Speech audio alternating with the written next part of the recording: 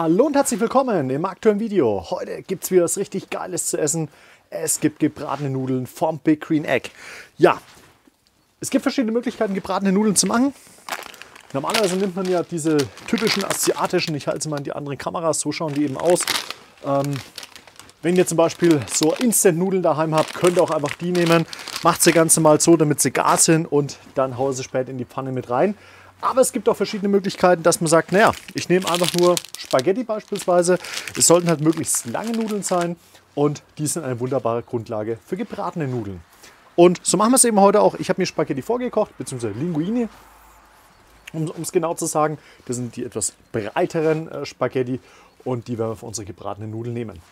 Für gebratene Nudeln, was ist eines der wichtigsten Dinge? Eines der wichtigsten Dinge ist eine heiße Pfanne und ein gutes Öl, ein gutes Fett.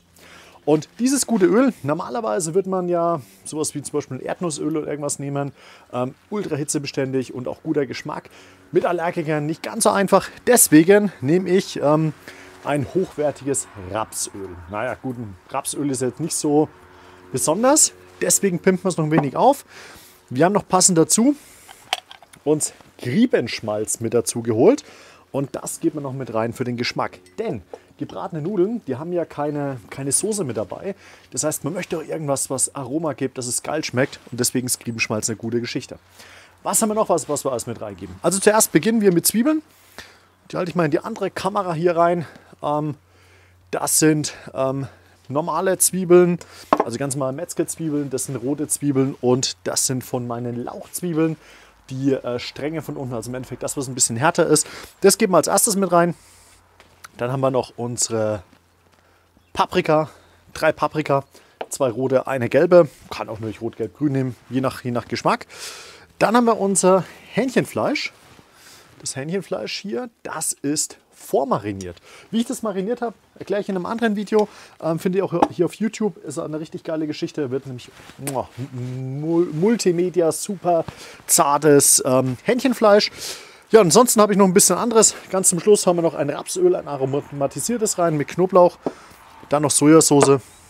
Tja, und das war's. Ach so, natürlich. Knoblauch haben wir natürlich auch noch. Hauen wir auch noch später mit rein.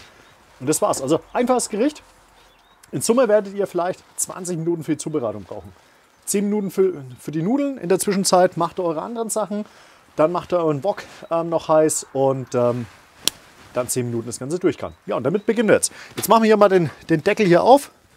Raucht jetzt ein bisschen, denn ich habe den Wok nämlich hier schon ja, ein paar Minuten drin. Und da geben wir jetzt unser Rapsöl mit rein. Genau, Rapsöl hat ja immer den Vorteil, dass es sehr hitzebeständig ist.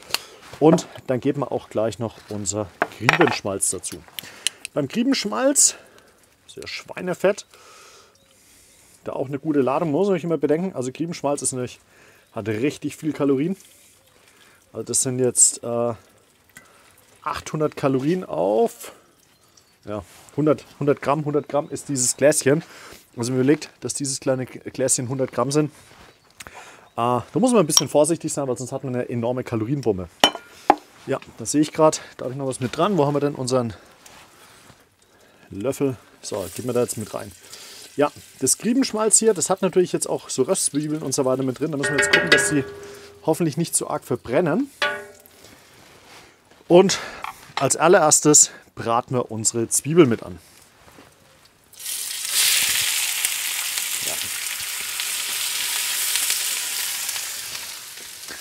So muss ich es anhören, wenn richtig Hitze dahinter ist. Es muss ordentlich brutzeln. Und das machen wir jetzt zuallererst mit unseren Zwiebeln und unseren Griebenschmalzstückchen hier.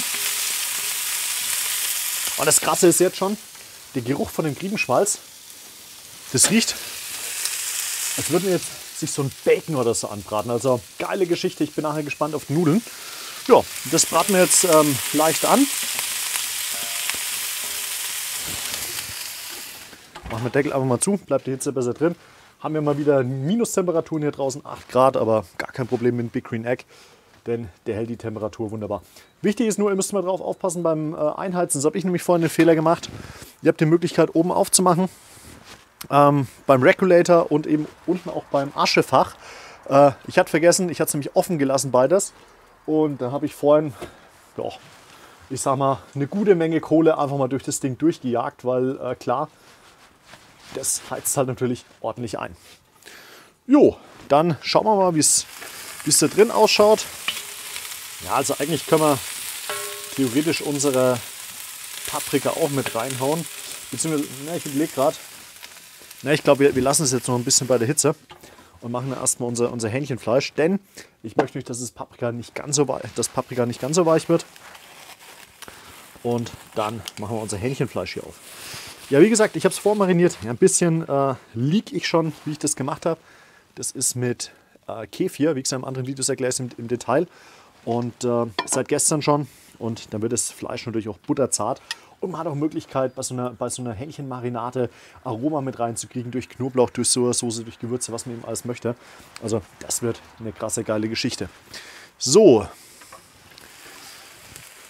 dann würde ich sagen, geht mir das mit dazu. Da achte ich nämlich drauf, also ich habe mein Käfig hier vorhin auch schon äh, abgeschöpft, dass nicht zu viel äh, damit reinkommt. Und da achte ich jetzt auch drauf. Deswegen schaufeln wir das jetzt hier einfach mal mit rein. Ich gebe es auch an die Außenwände hin, denn die Außenwände, die haben natürlich auch entsprechend viel Temperatur. Und das ist nämlich wichtig, dass man mit hoher Temperatur anbrät. Und von daher kann man das hier einfach schön außen schön verteilen.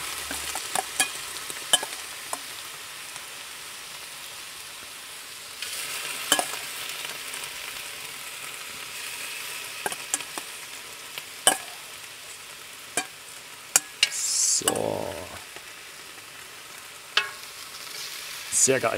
Gut.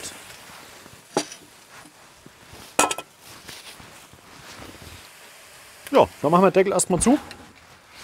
Auch da wieder, wie immer beim Kochen, einfach das Zeug auch mal in Ruhe garen lassen. Nicht die ganze Zeit hier äh, drin rumwürgen, denn dann kriegt man nämlich keine Röstaromen. Ja, ich denke mal, eine Minute lassen wir es auf jeden Fall so und ähm, dann schauen wir gleich mal, wie das ausschaut. So, und jetzt schauen wir mal rein.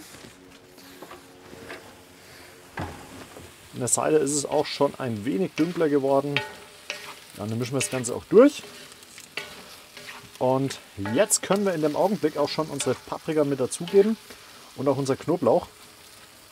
Man sieht jetzt vom Röstaromen oder allgemein Röstaromen sind jetzt wenig dran. Hätte ich wahrscheinlich meinen Big Green Egg noch ein wenig mehr aufheizen müssen. Also es hat bei meinem gebratenen Reis besser geklappt. Aber gut, manchmal ist er nicht ganz so perfekt. So, haben wir unsere Paprika, dann haben wir unseren Knoblauch.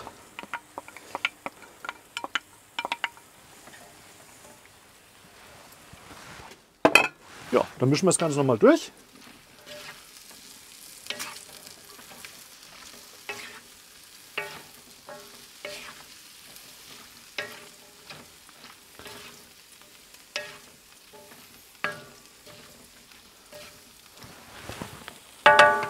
Und auch da wieder lassen wir das Ganze, ich denke mal zwei Minuten ziehen und dann hauen wir die Nudeln mit rein. Ja, nach ungefähr zwei, drei Minuten äh, sieht das Ganze schon recht gut aus. Also das Fleisch ist schon fester geworden. Meine Paprika ähm, hat schon einen gewissen Gargrad. Hier sieht man eben, es ist, hat sich Flüssigkeit unten angesammelt und das ist eben genau dann immer das, wenn das passiert, dann weiß man, die Hitze hat nicht ganz gereicht. Weil ich ja vorhin schon erklärt habe, ich habe vorhin einfach die Kohle richtig durchgejagt, habe jetzt noch minimal Kohle rein, hat nicht ganz gereicht, deswegen ist immer wichtig, wenn ihr das macht, den Wok ordentlich einheizen und dann aber auch so, dass noch genug Kohle drin ist. Und ähm, dann sammelt es auch nicht, auch nicht so viel Flüssigkeit. Klar, ist jetzt alles halb so wild, ähm, wird trotzdem geiles Essen, aber natürlich später die Röstaromen am Fleisch und so. Ja, da hapert es natürlich ein bisschen. Schade, aber beim nächsten Mal kriegen wir es auf jeden Fall auch hin. Hier habe ich noch meine Nudeln drin. Die Nudeln habe ich vorgekocht. Ja, man sieht es auch bei, bei, bei der Hitze hier. Ähm, ganz mal nach Anleitung. Habt die auch mit habe dann auch ein wenig Olivenöl mit rein. Das sind eben diese Linguini. Mmh. Da mache ich Olivenöl mit rein. Wenn ich jetzt hier im Topf drin lasse, dann werden die zusammenkleben. Und durch das Olivenöl passiert es nicht ganz so. Habe jetzt so minimal was rein. Also manche, die machen sie richtig mit ganz, ganz viel. Ähm, wollte ich jetzt nicht machen, weil es mir einfach sonst zu viel Öl wird. Ähm, alternativ kann man auch Butter nehmen, gibt auch noch ein wenig Geschmack, wie man das Ganze eben mag. So, dann schauen wir doch jetzt mal, wie es jetzt mit dem Fleisch hier ausschaut. Ganz geil. Also Es ist noch nicht hundertprozentig durch. Ähm, da geht mir jetzt auch die Nudeln schon trotzdem mit dazu, denn wir wollen die Nudeln in dem ganzen Ding hier mitgaren. Da ist nämlich ganz schön, wenn, wenn ein wenig Soße mit drin ist unten. Dann ist es halt nicht ganz so gebratene Nudeln, wie man es vom Asiaten kennt. Weil die gebratenen Nudeln, die leben immer davon, dass es ja auch wirklich schon bei den Nudeln schon fast Röstaromen gibt. Genau, so. An nee, kleben sie doch zusammen, aber nicht ganz so arg. Also man sieht es eben da, wo das Olivenöl gut verteilt war, da kleben sie nicht so arg. An anderen Stellen ein bisschen mehr. So. Das verteilen wir jetzt.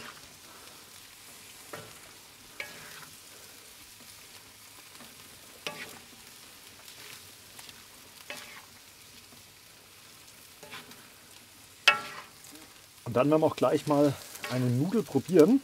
Mir geht es nämlich darum, wir haben jetzt aktuell noch gar nicht gewürzt. Also wir haben jetzt klar, das Fleisch war mariniert. In dem marinierten Fleisch war Knoblauch mit drin. Wir haben Knoblauch allgemein mit angebraten. Wir haben Zwiebeln. Aber wir haben natürlich jetzt ähm, noch keine große Salznote mit dabei. Asiatische Küche ist ja vor allem dann Sojasauce. Ähm, das ist ja das Maki der Chinesen, sage ich jetzt einfach mal. Und deswegen nehmen wir jetzt einfach mal Nudeln raus. Probieren die mal.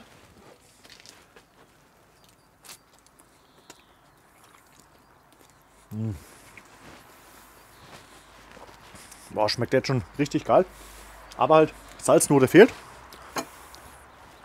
Deswegen haben wir Sojasauce. Und die Sojasauce die geben wir jetzt hier einfach noch mit oben drüber. Da mache ich jetzt auch nicht so viel, weil das kann man nach Geschmack nämlich am Tisch auch problemlos nachwürzen. Das ist jetzt auch nicht irgendwas, wo man sagt, oh, das muss jetzt richtig mit allem durchziehen. Äh, das verteilen wir jetzt einfach nur denn auch Sojasauce ist immer ein wenig Geschmackssache. Der eine mag mehr, der andere mag weniger. Ich mag Sojasauce extrem gerne, also bei mir kann es auch schon nach Sojasauce schmecken. Aber die anderen, die mitessen, die mögen das nicht ganz so. Ja, dann haben wir unsere Sojasauce noch mit rein. Und also ölig ist das Ganze schon, also merkt es auch an der Lippe. Da ist schon Öl mit dran. Ganz klein wenig von meinem Knoblauchöl gebe ich hier mit rein. Da muss man gucken. Ich meine, das ist auf, auf Rapsölbasis, da auch wieder ähm, gar kein Problem mit der Hitze. Diese, diese aromatisierten Öle, ähm, achtet immer drauf, dass ihr hochwertige kauft. Ich meine, das ist jetzt eins vom Discounter, wobei es auch ein hochwertigeres war. Ähm, es war jetzt nicht so ganz, ganz so günstig.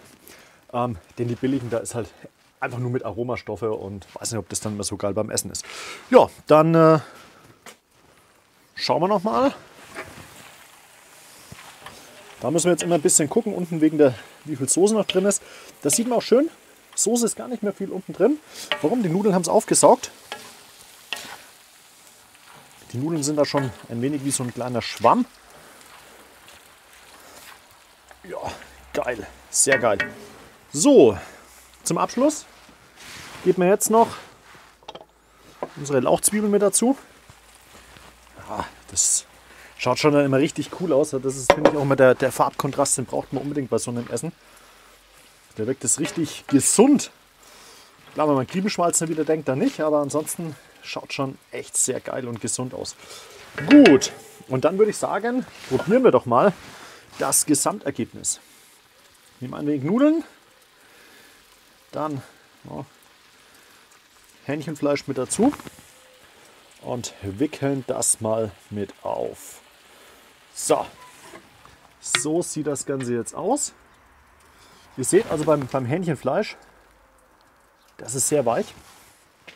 Und dieses Weiche, das ist halt, weil es mariniert ist. Hm, nochmal ein Stück abgebissen.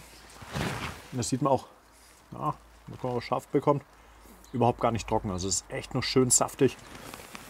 Hm. Geile Geschichte. Fleisch schmeckt sehr knoblauchintensiv.